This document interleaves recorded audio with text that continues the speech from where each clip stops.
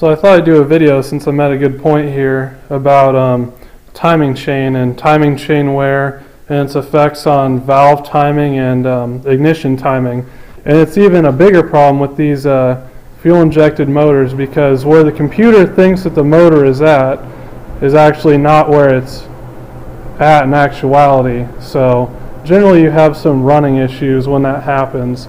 So when you get a sloppy timing chain, the first thing that you'll notice is it just it idles, the idle quality goes down. As you can see here, this timing chain has about enough slop to move that all the way that way, which is about, I'd imagine, 8 degrees of timing if this were marked. So we'll get this back to top dead center. We can kind of get a look here the whole view, and I'll turn this. Still isn't turning the distributor, and now it just turned it. So it moved it from that center point there all the way to there. So the valves are that late. So you already have extremely late valve timing along with ignition timing. So something to be leery of. So we'll spin the motor over here and we'll get an idea what's going on.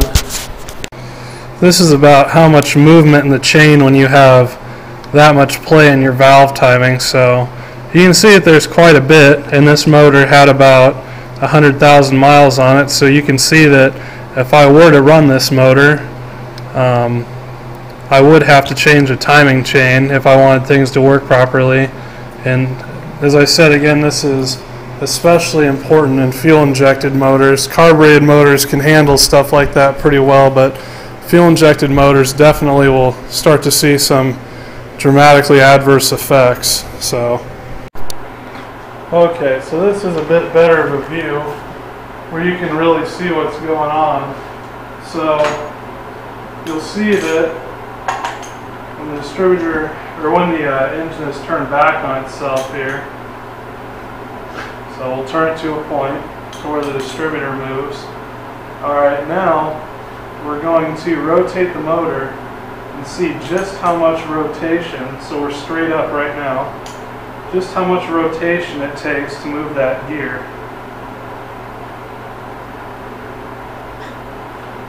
About that much, so about two clicks on the ratchet over. And as I mentioned before, we can see that it moves the whole just about five to eight degrees on the timing mark. So